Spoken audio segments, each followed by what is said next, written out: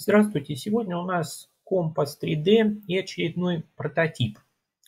Пересматривал на днях э, сериал «Ставка больше, чем жизнь» о похождениях бравого польского разведчика Ганса Клоса. А вот, кстати, вот, кстати, и он за рулем своего автомобиля, коллега Штирлица. Э, вообще, автомобили 30-х, 40-х годов 20 века – это на мой взгляд, целая эпоха дизайна, автомобильного дизайна. Этот вытянутый капот, крылья, напоминающие действительно что-то из области авиации, фары такие выпуклые, глазки.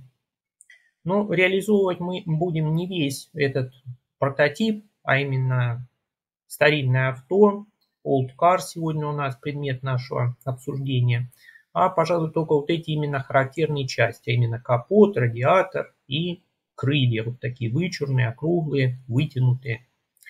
Чем мы будем еще пользоваться? Мы будем еще пользоваться некоторой документацией. Немножко порылся в интернет.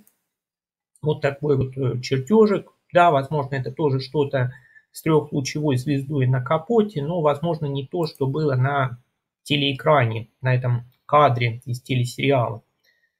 Ну, будем использовать этот чертежик в качестве размерных ссылочек. Кое-какие размеры здесь приводятся. Э, чертеж этот взят с ресурса Pinterest. Пользователь Игорь Липинский э, предоставил вот этот ресурс пользования э, любителям старинных авто. Ну, теперь давайте приступим к реализации. Попробуем что-то сделать с этим прототипом. Итак, создаем в компас новую деталь.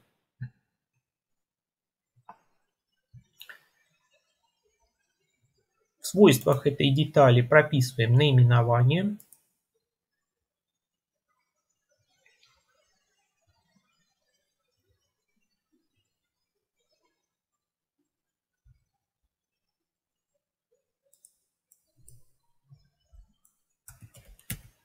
Пусть это будет старинная авто, пусть и не все целиком.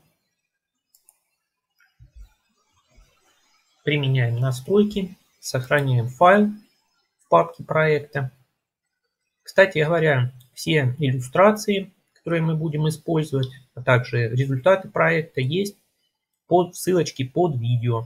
Итак, сохраняем файл детали, старинное авто.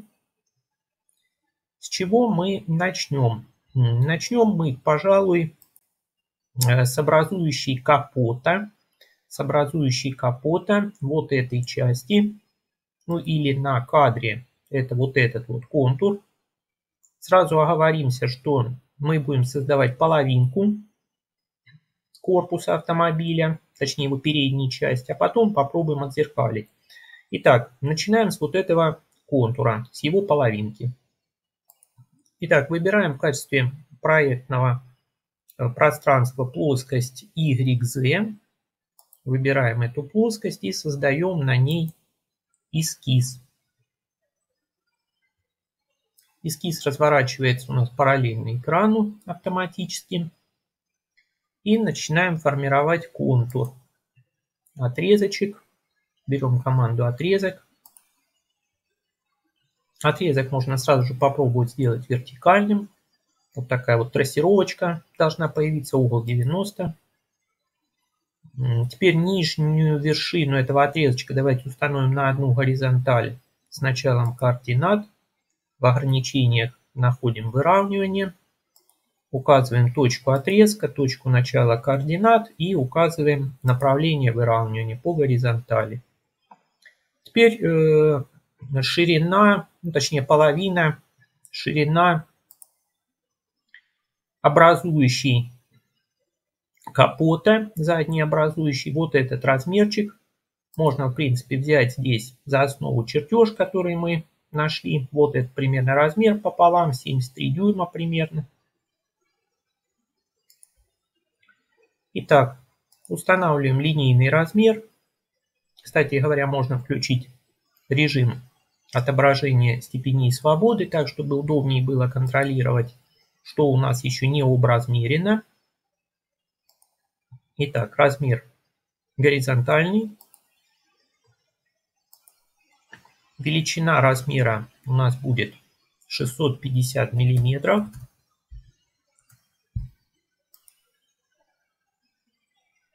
Итак, у нас осталась одна степень свободы по вертикали. Выносим этот размер. И высота у нас будет 850 миллиметров. Высота капота задней части, примыкающей к кабине. Итак, и теперь, э, что касается верхней части. Верхней части образующей у нас тут небольшое скругление должно быть, а потом, собственно, верхняя крышка капота надмоторного люка, можно сказать так. То есть вот эти вот два элемента нужно реализовать. Итак, берем э, команду, команду дуга. Для начала команда дуга. Дуга по трем точкам. Указываем точки. Первая точка. Немножко с помощью колесика мышки можно увеличить, приблизить изображение эскизное. Вторую точку на дуге. И третью точку указываем где-то пока произвольным образом. Видим свободы, которые есть у этой дуги. Закрываем команду, завершаем ее. Размер. Размер этой дуги устанавливаем. Радиальный размер будет 50 миллиметров. Сразу же делаем установочку касательности вот здесь. Выбираем ограничение касательности, дуга и отрезочек. Имеем одну степень свободы. Завершаем команду касания. Немножко поможем системе. Выделим дугу.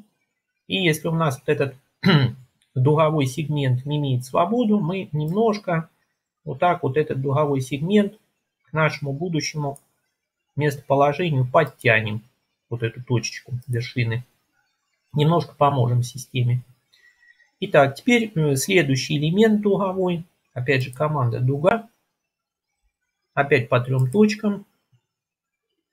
Начало в завершении предыдущей дуги. Конечная точка и какая-то точка промежуточная.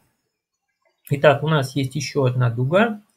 Для этой дуги что мы сделаем? Установим на одну вертикаль конец дуги и начало координат,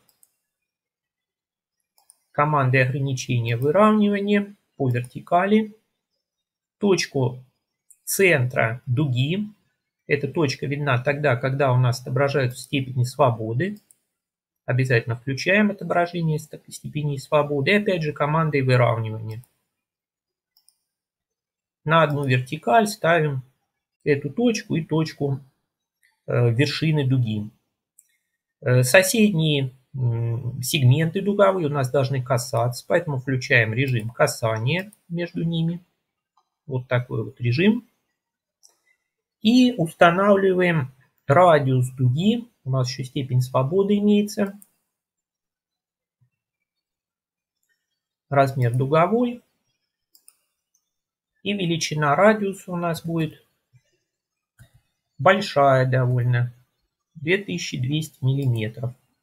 Построение мы выполняем в масштабе 1 к 1. Вот такой у нас контур получился. Он полностью образмерен. Степени, степени свободы отсутствуют. Это хорошо. Завершаем работу над данным эскизом.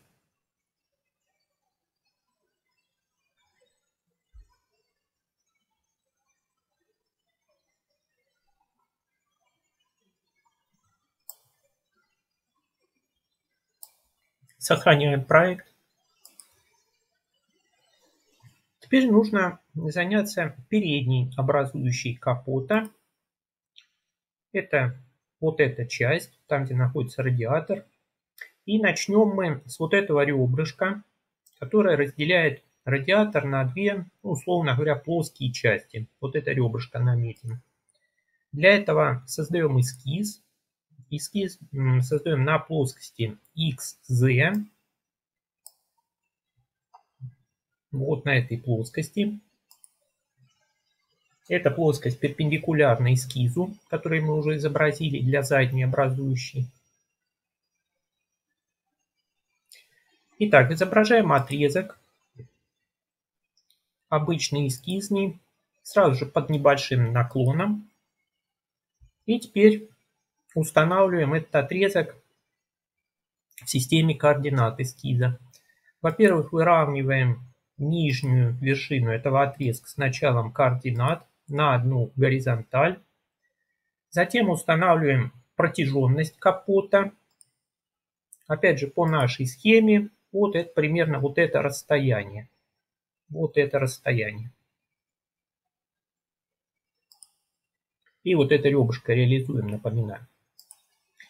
Итак, расстояние мы это определяем величиной 1900 миллиметров. Размер горизонтальный.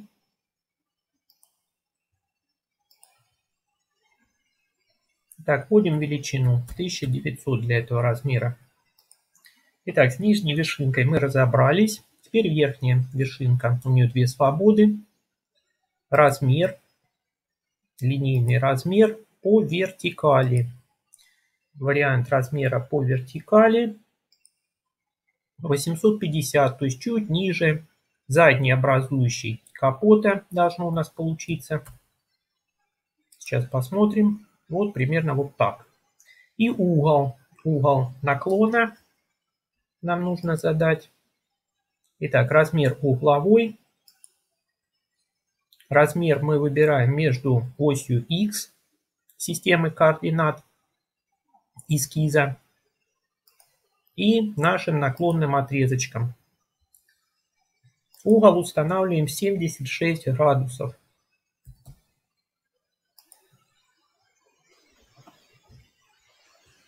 Итак, у нас исчезли степени свободы, эскиз готов. Завершаем команду образмеривания и выходим из этого эскиза. Ребрышко готово. Э, теперь можно через это ребрышко провести вспомогательную плоскость, вспомогательную плоскость, на которой будет изображаться образующая радиатора. То есть вот этот вот контур примерно он проходит этот контур через плоскость, которая, естественно, проходит через вот это ребрышко. Берем команду «Рабочая плоскость». Можно в твердотельном моделировании, например, во вспомогательной геометрии найти. Итак, несколько методов создания вспомогательных рабочих плоскостей. Мы выбираем плоскость через э, ребро под углом. Выбрали метод, выбрали ребрышко в данном случае это отрезок эскизный, и плоскость. Плоскость указываем XZ, ту плоскость, на которой отрезок был изображен наклонный. И теперь нужно задать угол, собственно, уклона. Можно использовать при этом манипулятор.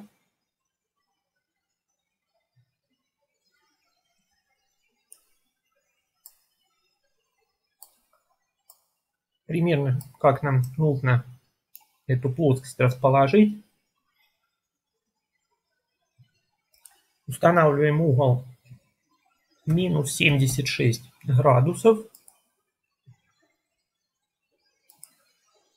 Завершаем команду. Итак, плоскость под углом. В контекстном меню выполняем команду «Редактировать», если эта плоскость у нас уже получилась. Ага, угол не изменился, он был создан автоматически системой. Вводим все-таки минус 76. Применяем команду. Контролируем результат. Да, вот теперь вот эта плоскость для размещения эскиза контура радиатора располагается как надо.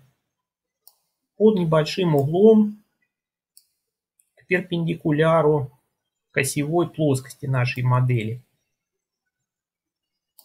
И теперь на этой плоскости изображаем, собственно, контур необходимый нам.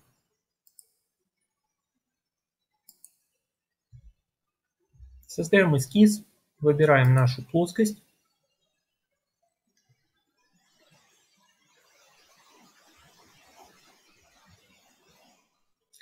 Проецируем в эту плоскость отрезок на оси симметрии модели. Этот отрезок мы выполняем вспомогательным типом линий в контекстном меню.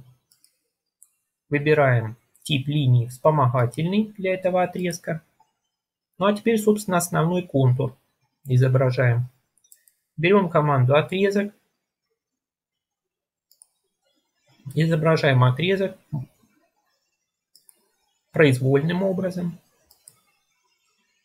Теперь этот отрезок необходимо сделать параллельным проецированному отрезку. Вот таким образом. Завершаем команду параллельность. Теперь определяем половинку ширины радиатора. То есть вот это расстояние.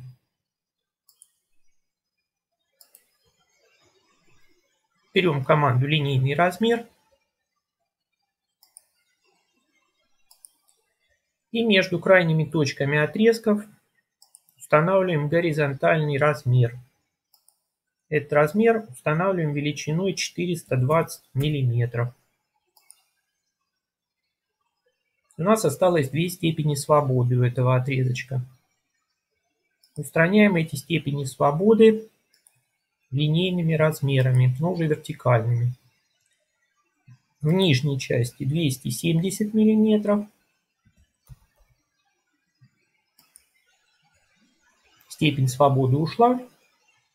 И верхней части также вертикальный размер, величина 120 миллиметров. Также степень свободы у нас ликвидирована.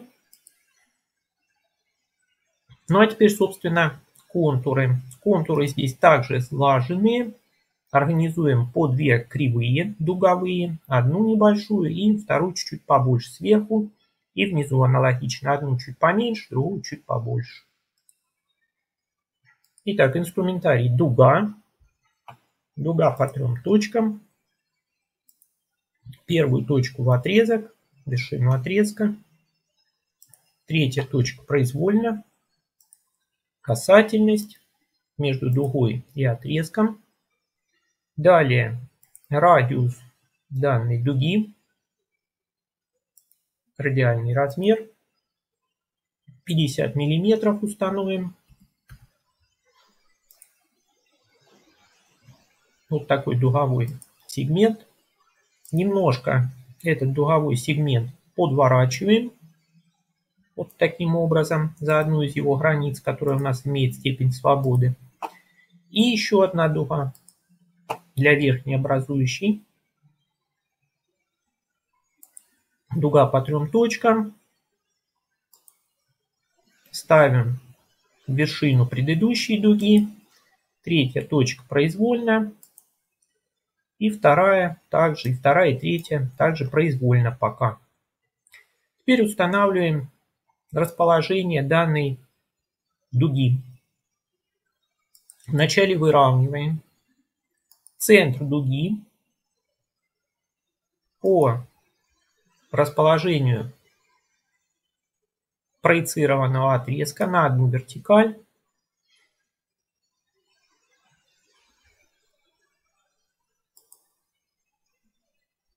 Точку дуги устанавливаем на вершину проецированного отрезка. Далее касательность между дугами. И, собственно, с верхней частью мы разобрались. С нижней примерно аналогичные манипуляции. Выбираем инструмент дуга по трем точкам метод. Небольшой дуговой сегмент. Завершаем команду. Касательность между отрезком и дугой. И еще одна дуга крайней точки по трем точкам. Не забываем метод.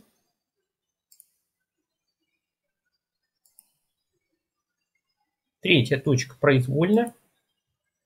Завершаем команду. Совмещаем вершинный дуг центр дуги, нижней дуги ставим на проецированный отрезок. Точку на кривую можно поставить. Например, вот так. Радиус нижней дуги установим достаточно большой величиной.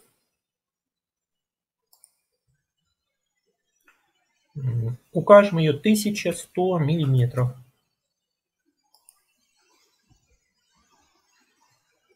И, наконец, касательность между дугами.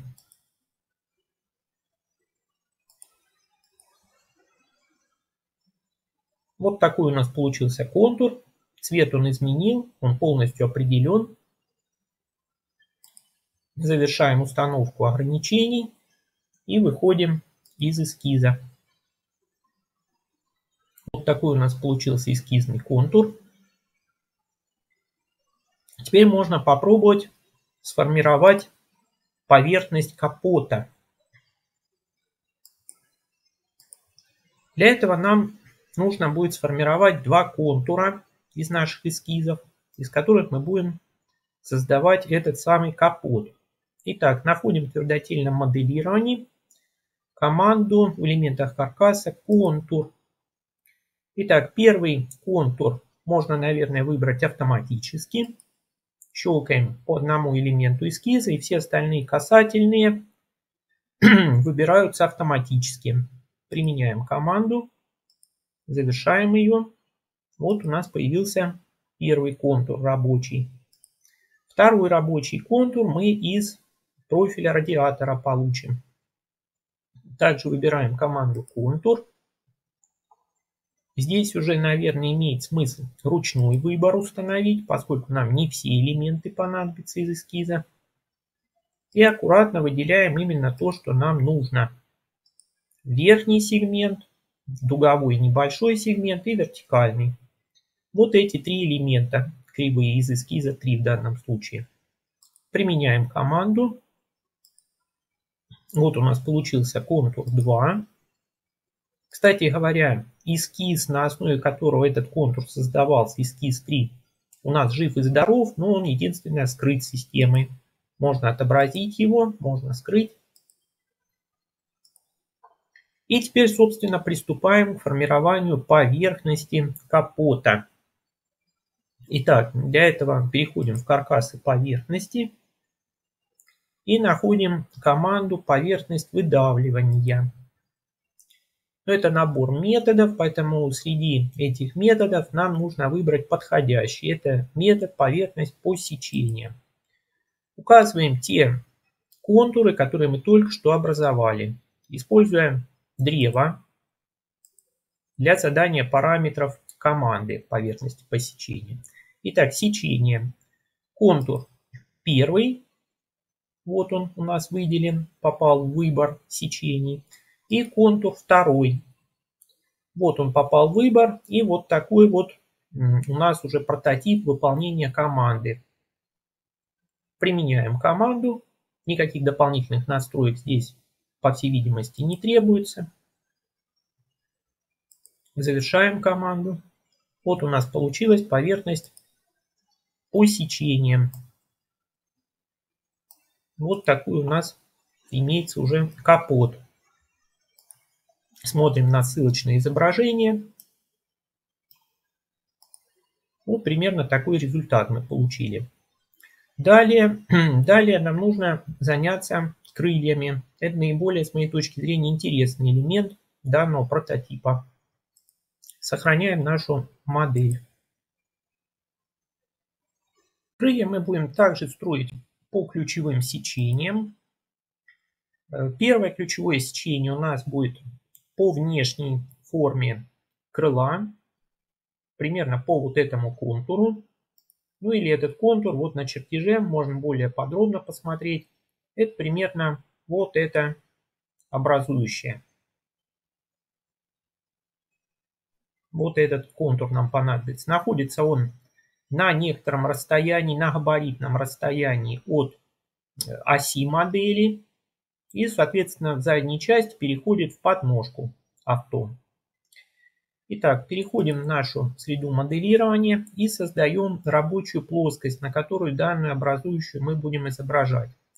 Итак, берем рабочую плоскость, создаем ее смещением от осевой плоскости модели. Осевая плоскость модели это у нас плоскость XZ. И от нее мы делаем отступ.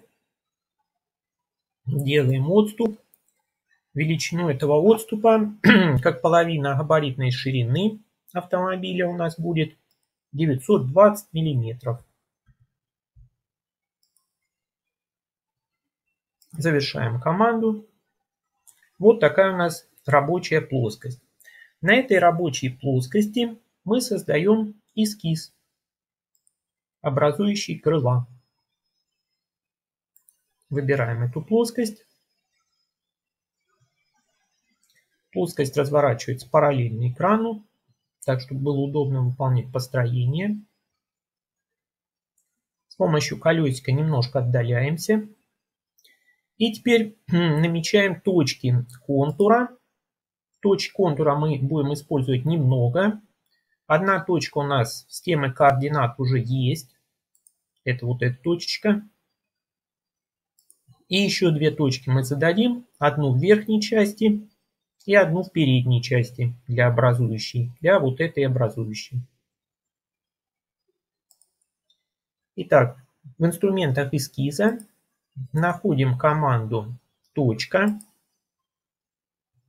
указываем первую точку, точнее вторую, первую у нас начало координат эскиза, и еще одну. Завершаем команду для создания точек. А теперь эти точки нужно образмерить. Образмеривание ведем от начала координат. Линейный размер. Итак, для второй точки размер горизонтальный. Устанавливаем величину 1500 миллиметров. И по высоте эту точку определяем. Также от начала координат. Вертикальный размер 600 миллиметров.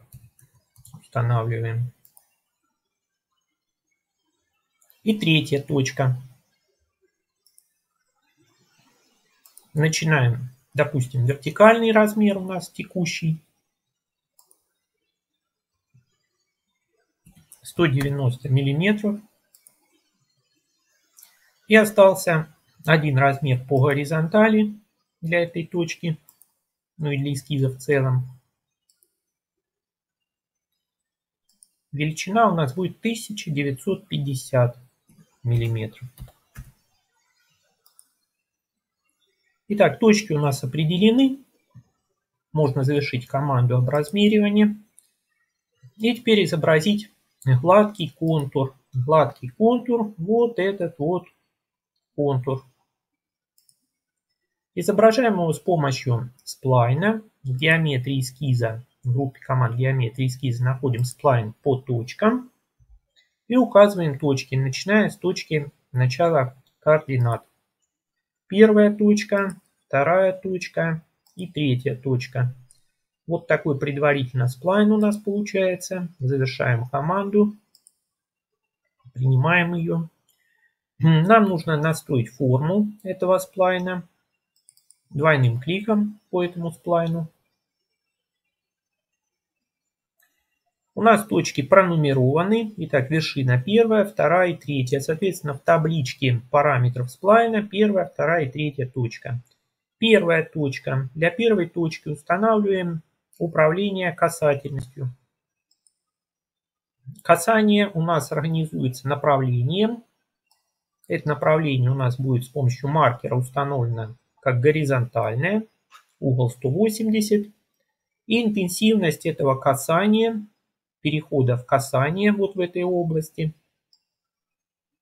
Двигая маркер, либо с помощью поля можно задать эту величину. Определим ее равной 1100.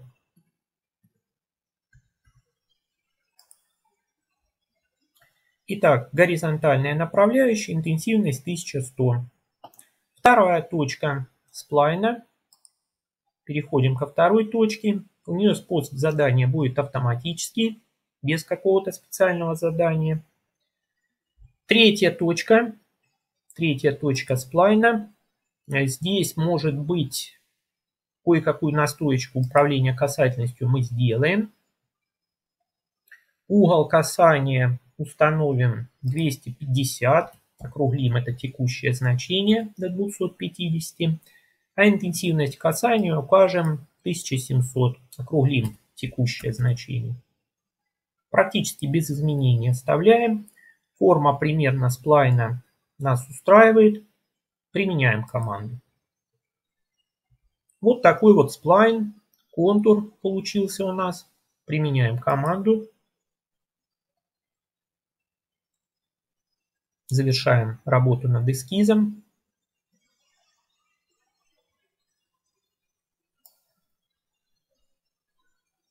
Это крайне образующая крыла автомобиля. Но это не все, что нам нужно.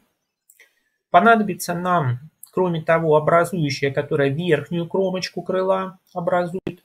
Вот эта кривая. Видно, что эта кривая находится выше по уровню, чем крайняя.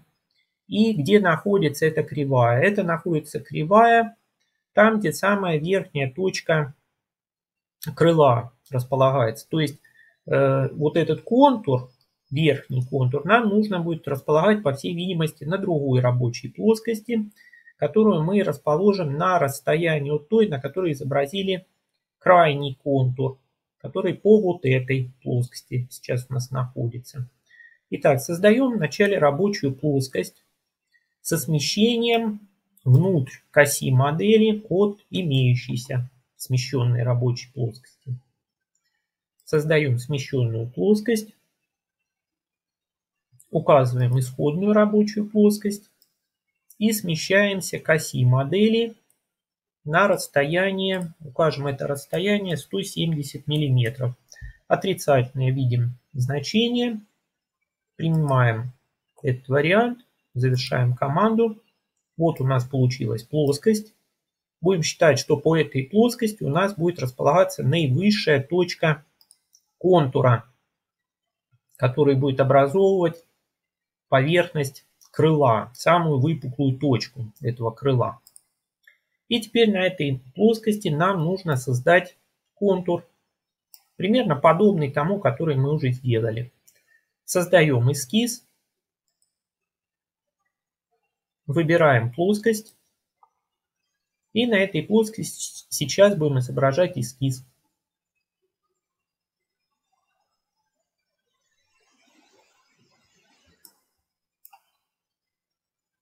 Итак, для того, чтобы упростить себе работу, давайте спроецируем в начале ключевые точки предыдущего эскиза. Вот эти ключевые точки. Итак, команда проецирования. Аккуратно указываем эти точки. Точку начала координат также. И теперь, э, теперь нам нужно создать новые точки, по которым мы будем строить подобный контур, но ну, несколько выше текущего. Итак, для этого берем команду, опять же, точка, и указываем точки. Одну, вторую и третью. У этих точек есть по две степени свободы. Эти степени свободы нам нужно устранить. Команда выравнивания, во-первых. Итак, первую точку с началом координат на одну вертикаль устанавливаем. Вторую точку со второй точкой исходной также на одну вертикаль, а третью точку и третью точку исходного контура на одну горизонталь. Поставим это условно, но так будет немножко проще, на меньше размеров придется указывать. А итоговая форма, будем надеяться, от этого пострадает э, не сильно, скажем так. Итак, теперь, э, собственно, создаем контур задаем контур. Итак, что мы для этого делаем? Для этого мы выбираем команду spline. Опять же, spline по точкам. Указываем позицию первую, вторую и третью. Вот такой вот сплайн получается. Применяем команду, завершаем ее. Сплайн проходит через точки, которые имеют степени свободы. Попробуем устранить эти степени свободы размерами. Берем команду размеры и проходим по этим точкам. Первая точка. Итак, вертикальный размер. Высота смещения, пускай будет небольшая, 40. Вот эта высота у нас будет определять, по сути, высоту порожков модели. То есть вот эта вот величина примерно. Далее, вторая точка. Также размер вертикальный. Устанавливаем 110 миллиметров. И третья точка. В данном случае это автоматический горизонтальный размер. Точки у нас выровнены по горизонтали. Здесь 140 миллиметров устанавливаем величину.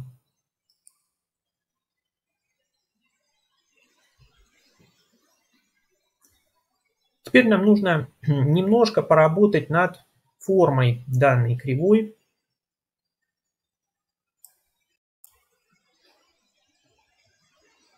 Завершаем команду размеры. Открываем двойным кликом кривую на редактирование. И проходимся по, вершинам. Первая, вторая и третья. Итак, первая вершина.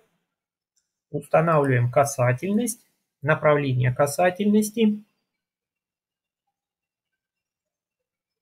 Направление касательности у нас будет также близкой к горизонтальному. Устанавливаем 180 угол.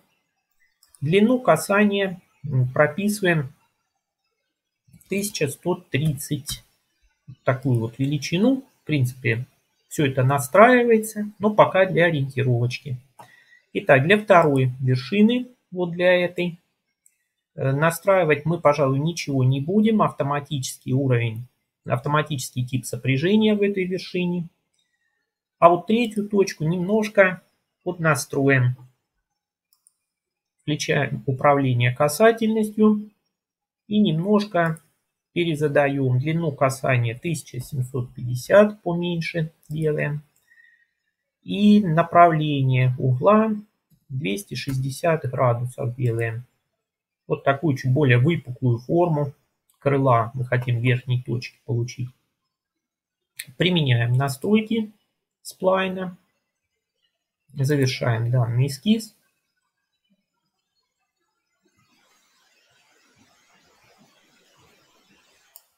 Вот такая вторая образующая у нас. Самая выпуклая часть крыла получается. Сохраняем модель. Следующая направляющая для формирования крыла модели у нас будет располагаться по оси, по оси модели, то есть по вот этой осевой плоскости. Форма этой а, образующей будет близка к основанию модели, то есть вот примерно вот этому основанию. Единственное, что нам нужно предусмотреть, это некоторый вынос формы крыла в передней части перед радиатором. Вот здесь вот некоторый участочек, есть площадочка небольшая. Э, на нашем кадре из э, сериала вот это прикрыт номером. Вот этот участочек как раз. И вот эту часть сейчас нам нужно будет задать, сформировать вот этот контур. Для этого укажем точку выноса. Точка выноса. Для этого создаем в каркасе и поверхностях точку. Точку для начала. Метод для создания точки выбираем, соответственно, переносом. Переносом от э, точки нижней радиатора по горизонтали. Горизонтальное направление это у нас ось X. То есть вот в этом направлении. Смещение указываем величиной 90 миллиметров. Вот такое смещение задаем для точки. Завершаем команду. Так, неудачно. Надо еще разок создать точку. Итак, точка переноса от точки радиатора нижней по направлению X. Указываем смещение. И вот к этому смещению задаем расстояние 90. Вот теперь применяем команду. Вот теперь все как надо у нас получилось. Есть точка. И теперь контур образующий, как уже было сказано, он будет практически горизонтальным с небольшими вариациями. Создавать этот контур для э, крыла, для формирования крыла мы будем на плоскости XZ модели. Создаем эскиз. В качестве плоскости выбираем XZ, вот эту зелененькую плоскость. В эту плоскость мы спроецируем сейчас необходимую геометрию. Так, плоскость развернулась параллельно экрану, не спеша. И теперь указываем точки, которые нам будут для этого необходимы. Итак, во-первых, точечка, созданная нами только что, смещением от нижней точки радиатора. Затем сама нижняя точка радиатора. И, наконец, еще одна точка нам понадобится. Это точка верхнего среза, верхнего среза крыла. Вот эта точечка понадобится. Вот мы эти три точки спроецировали. Раз, два и три. Теперь эти точки нам нужно определенным образом соединить. Разворачиваем эскиз параллельно экрану. Итак, первые две точки мы соединяем обычным отрезочком, эскизным, горизонтальный участок. А вот второй отрезочек от вот этой точки, от второй до последней третьей, мы соединим с помощью сплайна. Почему сейчас оговорим. Итак, вызываем команду spline по точкам. Указываем первую точку сплайна и вторую точку. Это проецированные точки. Итак, нам нужно добиться, чтобы вот этот сплайновый отрезочек был, во-первых, имел плавный переход с первым горизонтальным отрезочком, то есть вот в этой области, чтобы был плавный переход у нас, и чтобы в крайней точке этого сплайна, в свободной точке, тоже был плавный переход к условной горизонтали нашей модели. Для этого нам понадобится управление касательностью. Двойным кликом переходим к редактированию этого сплайна, хоть и по двум точкам, но это тем не менее сплайн. Итак, первая точка, управление касательностью выбираем. Итак, угол здесь округляем до 180 градусов. И длину касания здесь укажем 250 миллиметров. Не очень существенно, но тем не менее эту длину нужно указать. Итак, вторая точечка. Для второй точки также нужно прописать направление касательности. Также горизонтально, не 177, а 180. Вот таким образом переход по касанию у нас будет горизонтали. И интенсивность длина касания также 250 миллиметров. Применяем эти настройки. Вот такая у нас получается образующая. Завершаем эскиз.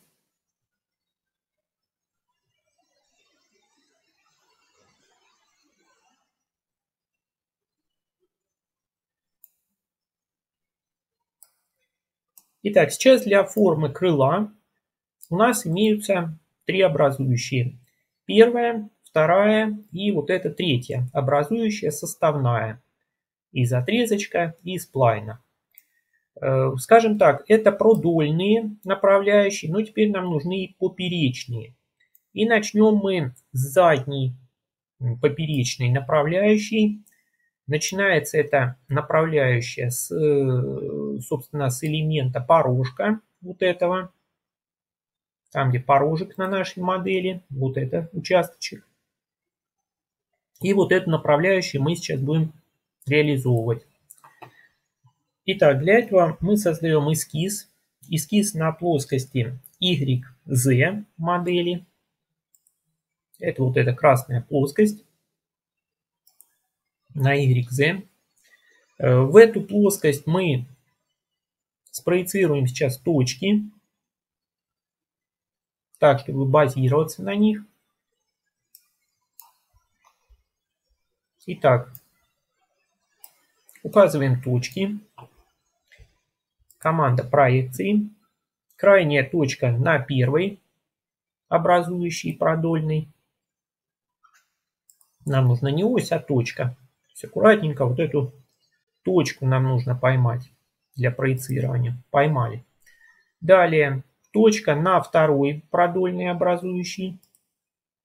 Есть и точка крайняя на третий образующий, который мы недавно построили. Вот у нас есть три точки. Теперь по этим трем точкам нам нужно построить контур. Контур будет строиться из отрезка. Протяженный участок у нас будет отрезок. От третьей точки до второй. Это отрезок. А от первой до второй точки, вот здесь вот между этими двумя точками, мы построим опять же сплайн. Поскольку нам нужно плавно перейти к горизонтальному участку и плавно перейти определенным образом к краю, краю крыла, создаем сплайн эскизный. Указываем точки, первую и вторую, Завершаем команду. Никаких больше точек нам не понадобится. И теперь настраиваем режимы касания в крайних точках этого сплайна. Итак, нумерация точек у нас первая, вторая. Итак, первая точка управления касанием, горизонтальное направление касания должно быть. Интенсивность касания здесь устанавливаем величиной 200. И для второй точки, вторая точка, также управление направлением касания. Касание у нас должно быть к вертикали, поэтому вот примерно вот так устанавливаем направление касания 270 градусов. И интенсивность Интенсивность устанавливаем порядка 100. Небольшую интенсивность. Вот такой вот у нас будет порожек модели. Применяем команду. Завершаем эскиз. Вот такая у нас получилась первая поперечная направляющая. Следующая направляющая в поперечном направлении для формы крыла будет довольно сложной. Она должна проходить через нижнюю кромочку радиатора, через вот эту скругленную кромочку радиатора. Далее она должна достичь самой выпуклой точки контура крыла, продольного контура, и перейти к вот этому торцевому э, контуру, опять же, крыла. Как мы будем создавать эту направляющую? Также в виде э, сплайнов. И сплайны эти мы будем строить, по всей видимости, на вот этой плоскости, на которой была у нас э, контурная кривая для радиатора изображена. Но для того, чтобы в дальнейшем нам упростить работу с построением контура сплайна, нам понадобятся ключевые точки пересечения данной плоскости с продольными кривыми для формы крыла. Создаем мы эти точки с помощью пересечений. Итак, в каркасе и поверхности точки, точки пересечения. Точки пересечения мы создаем методом, как ни странно, на пересечении и указываем объекты. Итак, рабочая плоскость и первый эскизный контур сплайновый. Применяем команду. Вот у нас получилась первая точка пересечения. И в браузере модели. Далее еще раз та же команда. Создаем точку на пересечении рабочей плоскости и другого сплайна. Вот еще одна точка получается. Применяем команду, завершаем команду для создания точек.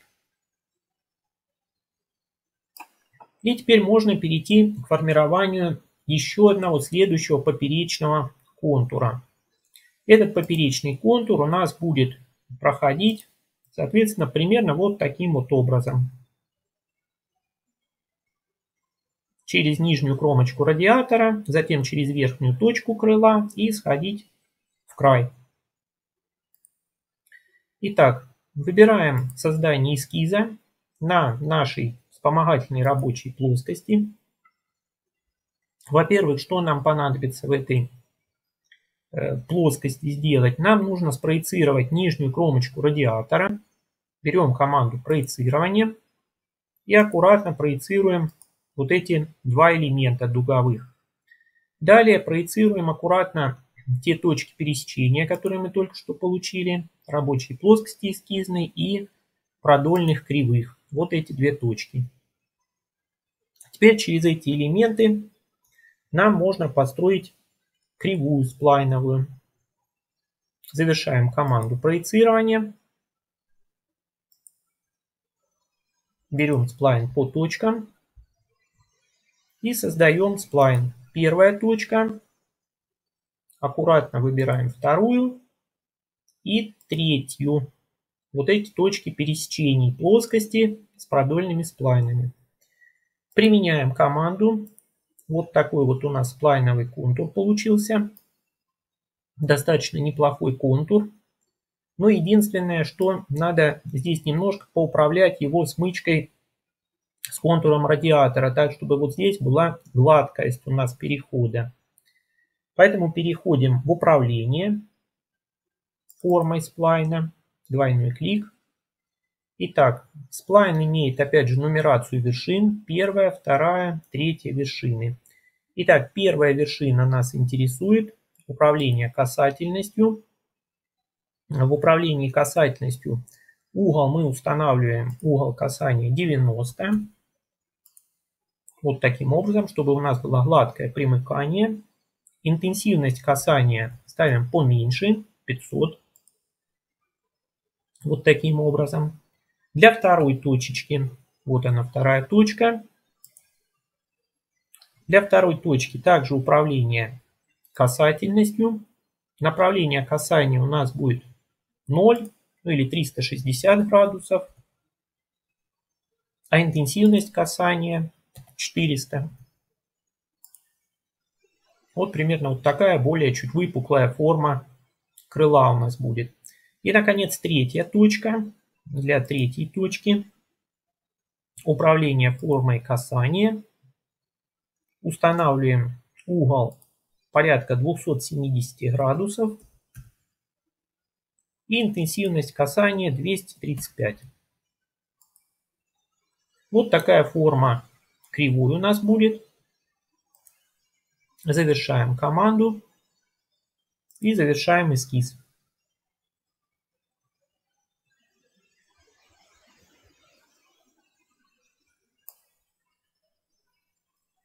Вот такая у нас вторая получается поперечная направляющая в эскизе 8.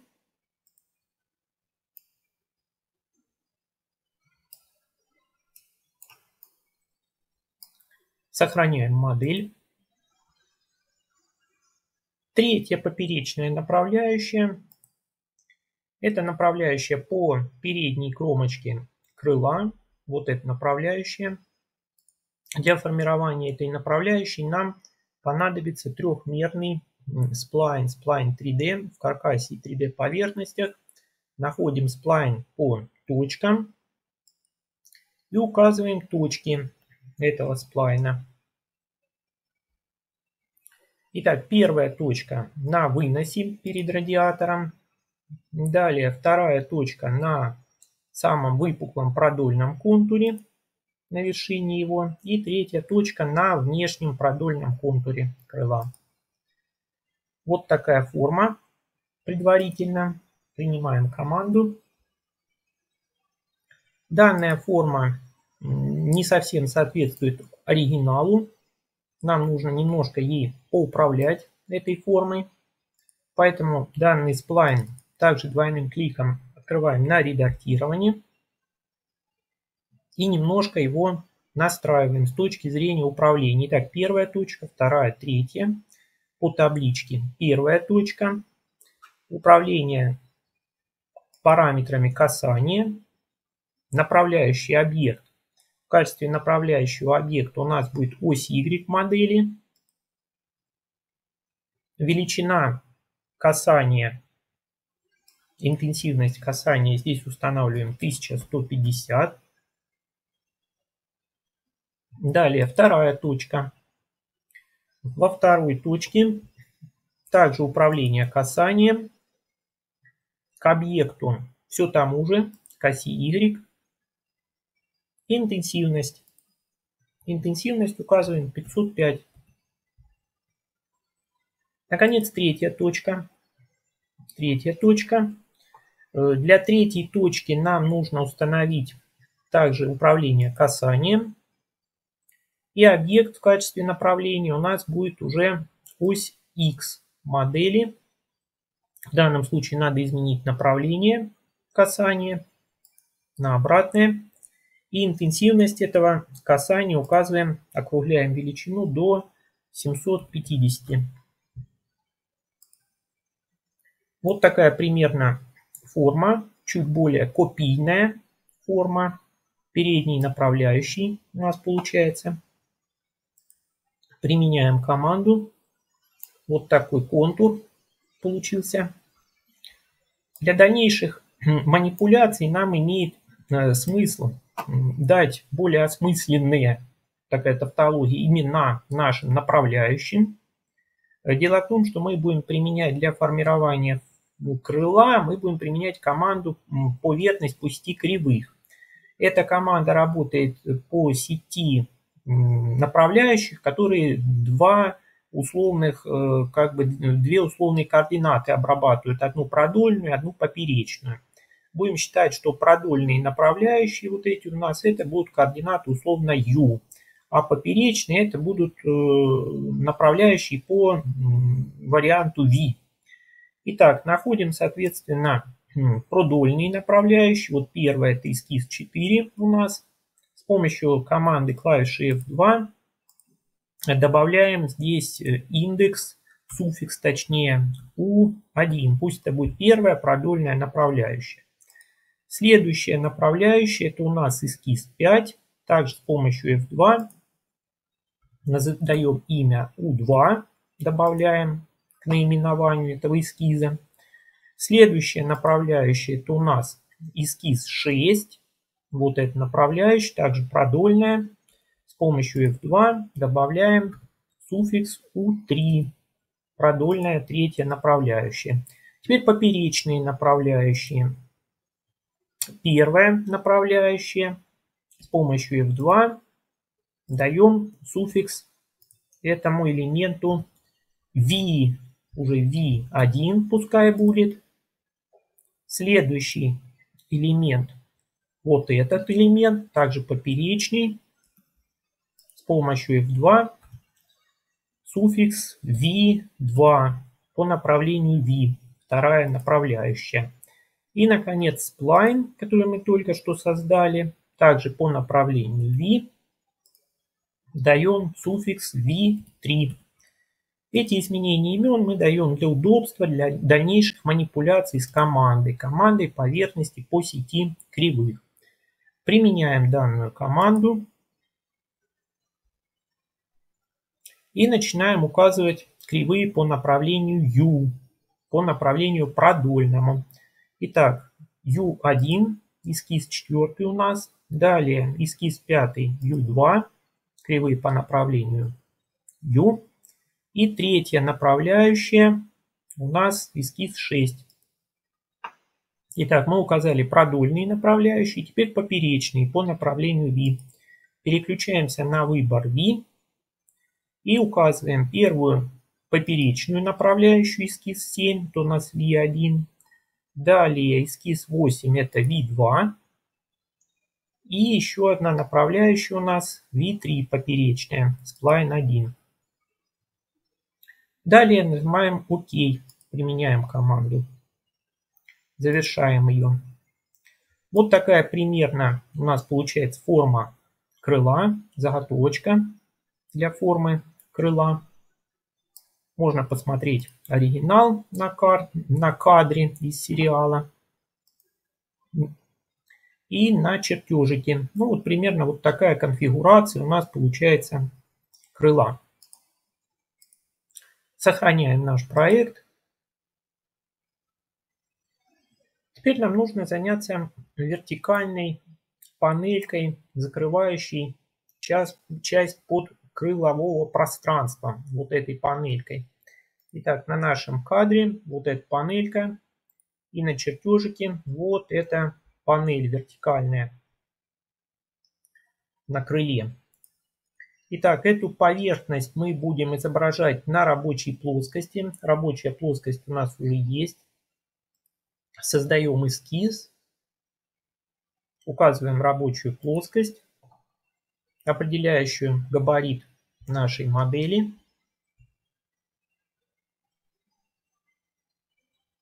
Для формирования контура здесь можно будет спроецировать уже имеющийся сплайн. Для этого вызываем команду проецирование. Делаем проекцию. Для удобства дальнейших построений имеет смысл, наверное, переключиться здесь в режим каркаса. Наверное, будет удобно. И продолжаем построение. Итак, отрезок. Команда отрезок. Крайнюю точку проекции. Отрезочек этот надо будет сделать горизонтальным, пока произвольный отрезок.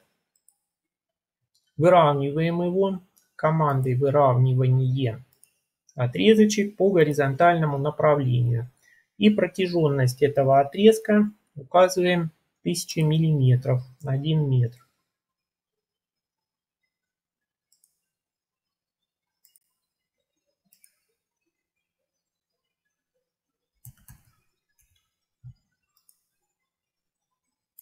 Далее нам нужно сделать переход плавный, дугообразный от этого отрезочка к образующей колесной арке. Здесь, наверное, дуговой элемент нам пригодится. Дуга по трем точкам. Указываем точки. Первую точку. Далее на сплайне. И третью точку произвольным образом.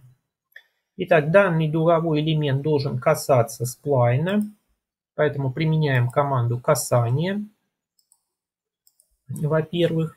И во-вторых, нам нужно задать радиус этого элемента так, чтобы он красиво, аккуратно вписывался в габарит арки. Итак, вызываем команду радиус, радиальный размер. И для этого элемента дугообразного указываем радиус. Радиус 470 миллиметров указываем. Вот примерно вот такой получается у нас контур вот этой панельки, которая будет закрывать часть крыла. Завершаем команду. И выходим из данного эскиза. Теперь по данному эскизному изображению нам нужно сформировать контур для этого находим в каркасе и поверхностях, например, команду контур.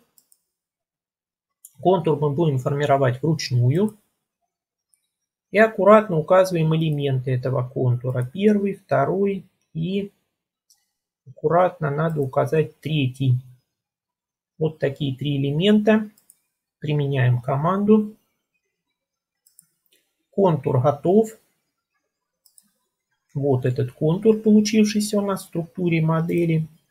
Можно, кстати говоря, сейчас вернуться уже к тоновому изображению и, собственно, сформировать вот эту панельку, закрывающую пространство под крылом. Сформируем мы эту панельку с помощью инструмента заплатка.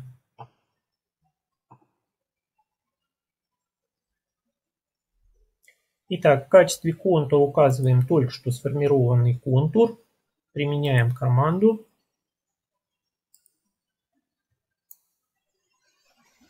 Вот такая у нас получилась панелька, закрывающая форму крыла. Теперь у нас сложилась такая ситуация, что есть у крыла некоторая часть поверхности, которая входит в подкапотное пространство и которой, собственно, в реальном прототипе, скорее всего, нет. Здесь подмоторная рама, оборудование и так далее находится. Вот поэтому эту поверхность нам нужно урезать. Для того, чтобы это проделать, нам нужно создать контур усечения. И вот этот контур мы сейчас с вами создадим. В каркасе и поверхностях находим в группе каркас команду кривая пересечения. Вызываем эту команду и указываем те объекты, которые мы собираемся пересечь, найти пересечение между которыми. Это капот, во-первых, а вторая поверхность это, собственно, крыло. Между ними система находит контур. Применяем команду. Вот такой вот контур. Но это, правда, не весь контур нужный нам. Нам еще нужен небольшой участочек под радиатором, вот здесь вот. Так, чтобы у нас контур пересечения полностью перекрывал тот фрагмент, который мы должны отсечь. Итак, поэтому создаем контур командой контур непосредственно и указываем те элементы вручную, в ручном режиме, которые будут этот контур формировать. Кривая пересечения, во-первых, а затем под радиаторные дуги. Вот эти две дуги указываем. Применяем команду, завершаем ее. Итак, у нас готов контур. Вот такой вот контур 4. И вот этим контуром мы попытаемся сейчас подрезать наши элементы в модели. Во-первых, крыло. Итак, усечение поверхности. Команда в группе поверхности, каркасы поверхности, грань. Грань крыло. А секущий объект это контур 4. Заштрихованная область должна оставаться. У нас все наоборот. Нужно оставить внешнюю часть крыла, а внутреннюю убрать. Поэтому сменяем направление. Вот таким образом. Применяем команду. Итак, крыло мы подрезали. Контролируем результат. Вот примерно вот такой результат получен. Крыло подрезано. Но панель капота, боковая панель капота, она все еще выступает под крыло. Здесь желательно это состояние подрезать. Опять же усечение поверхности команды. Указываем грани, которые будут участвовать в этой процедуре. Указываем грани капота, все грани обязательно. И секущий объект. Секущий объект достаточно указать вот эту верхнюю кривую пересечения.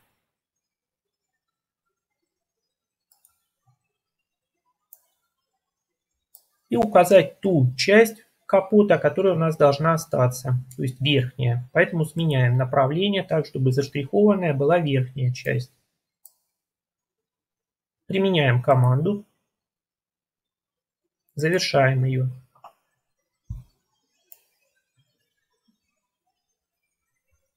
Вот примерно такая форма модели у нас получается. Теперь нам нужно закрыть радиатор Обращаемся к ссылочке. Изображение кадр из сериала. Ставка больше, чем жизнь. Итак, и теперь контур. Итак, значит заплатка. Команда заплатка опять же. И указываем элементы контура радиатора. Первый элемент контура, второй, третий, четвертый. Здесь аккуратно вручную указываем эти элементы. Тогда, когда у нас вот небольшая здесь штриховочка появится муаром, это означает, что контур уже полностью найден, ну, либо можно было его с помощью команды контур сформировать. Создаем заплаточку. Итак, вот такая у нас получилась панель радиатора. Сохраняем наш проект. Теперь можно попробовать добавить толщину панелям, которые мы создали поверхностными моделями. Для этого переходим в структурное представление. Итак, у нас есть группа поверхности. Итак, поверхность, например, 3. Это у нас боковая поверхность крыла, вертикальная. Придаем толщину. Толщина этой поверхности у нас должна быть примерно 1 мм. По крайней мере, интернет говорит о том, что толщина панелей облицовочных автомобилей 30-40-х годов именно такую величину имела. Итак, применяем команду. Это новое тело будет.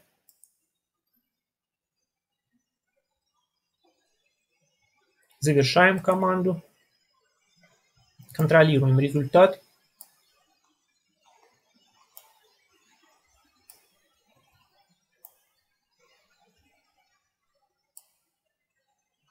По всей видимости, сейчас у нас панелька твердотельная.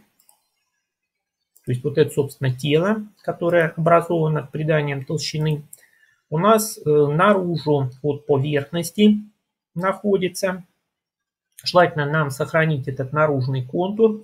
Поэтому надо изменить направление придания толщины этому телу.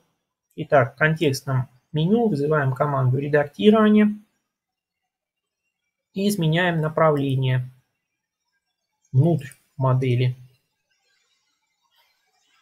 Итак, обращаем внимание, что сейчас у нас вот такой муар образуется, пересечение по одной плоскости поверхности тела. Это означает, что сейчас у нас тело создается внутрь от поверхности. Следующую поверхность, которую мы будем обрабатывать таким образом, это, собственно, крыло. Выделяем эту поверхность. Команда, опять же, придание толщины. Толщина у нас все та же, 1 мм. Попробуем сразу же сменить направление. Новое тело. И применяем команду.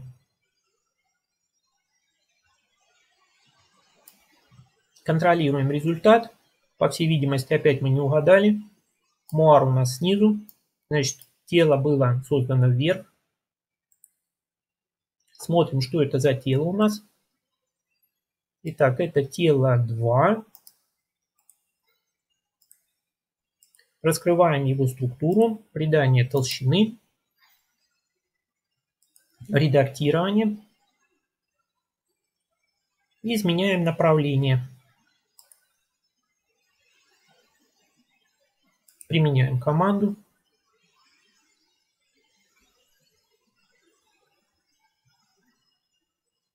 Итак, вот теперь Похоже, правильно. Муар появился, значит, у нас поверхность и тело совпадают в данной ситуации, и тело открадывается внутрь от поверхности. Далее, поверхность 5, это, собственно, капот, верхняя часть и боковая. Придаем толщину. Толщина 1 мм, новое тело. Применяем команду. По всей видимости, опять мы не угадали. Да. Итак, это тело 3. Придание толщины. Редактируем. Изменяем направление.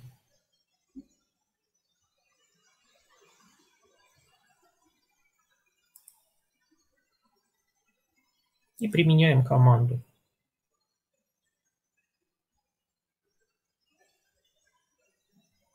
Вот теперь нормально. Тело создается внутрь от модели. И, наконец, поверхность 6, радиатор. Выделяем поверхность, придание толщины. Также 1 мм. Новое тело. Создаем панель твердотельную.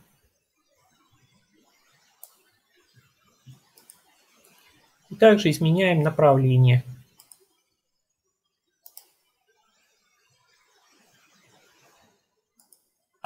Ни разу мы не угадали с направлением придания толщины.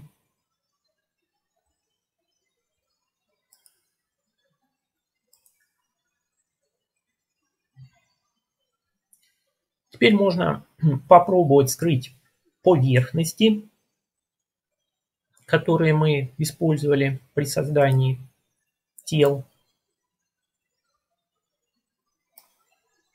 Скрываем все поверхности нашей модели. То есть остаются у нас твердотельные видимые элементы. Теперь можно попробовать сделать зеркальную копию модели. Можно перейти в твердотельное моделирование. Массив.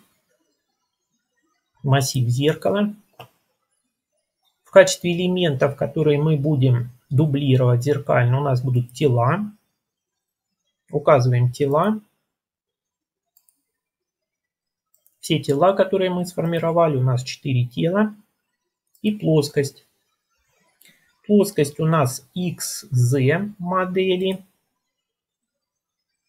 Выбираем эту плоскость XZ в качестве плоскости отзеркаливания.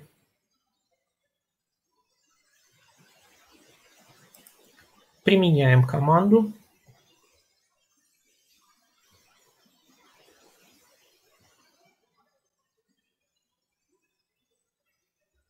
Завершаем ее. Теперь можно поконтролировать форму нашей модели. Посмотреть прототип наш. Посмотреть чертежики.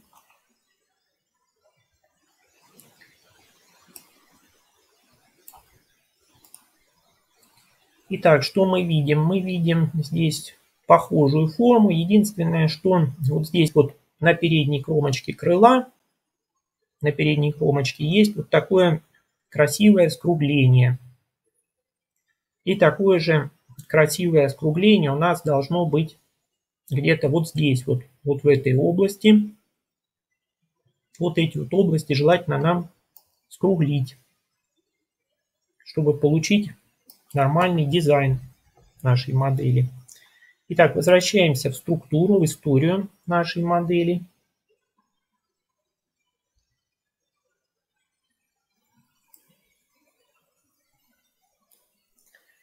Переходим к зеркальному отражению. Конец истории перематываем немножко назад, вот сюда примерно, над зеркальным отражением. То есть отменяем как бы временно выполнение этого зеркального отражения.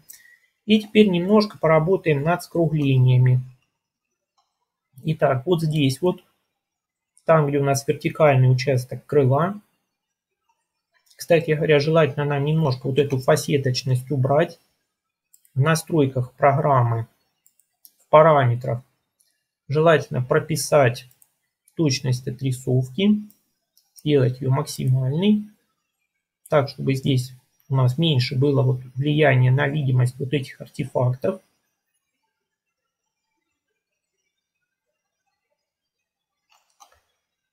Приближаемся к месту скругления. Выбираем команду скругления. И вот это ребрышко указываем в качестве ребра скругления. Радиус этого скругления указываем 140 миллиметров. Применяем команду. Отдаляемся от модели. Вот примерно вот такая форма у нас получается. И в передней части, в принципе, похожее действие нужно выполнить. Также находим ребрышко, нужное нам. Команда скругления. И радиус этого скругления давайте попробуем побольше задать, порядка 200. Посмотрим, как получится у нас форма при этом. Завершаем команду. С помощью колесика мышки отдаляемся. Вот такая сглаженная форма получается крыла. И вот теперь можно попробовать, пожалуй, вернуть зеркальное отражение. Историю перетягиваем завершение модели. Заверша... Дожидаемся перестроения.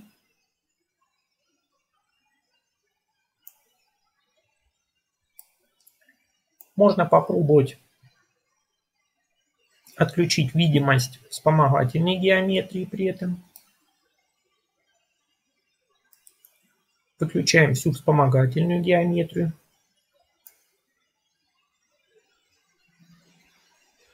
Попробовать переключиться, например, на перспективный вид.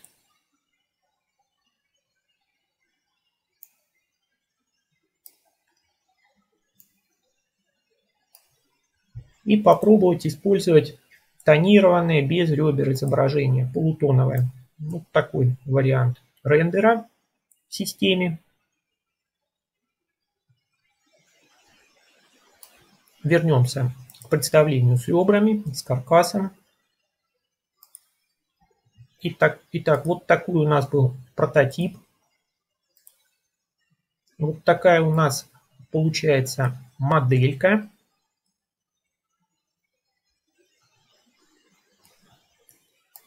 точнее часть прототипа мы реализовали. Но я думаю, что пользователи могут продолжить работу над этой моделькой, добавить заднюю часть, посмотреть чертежи, которые также прикладываются к этому проекту, или дополнительную информацию в интернет можно по почитать, поизучать, добавить шасси, добавить фары, добавить в конце концов сам тип авто, это может быть и легковой, и грузовичок, и пикап, что-то такое можно пофантазировать. В том числе и модельный ряд можно тут на основе этой модельки добавить свой какой-то элементы дизайна, элементы оформления, эмблему.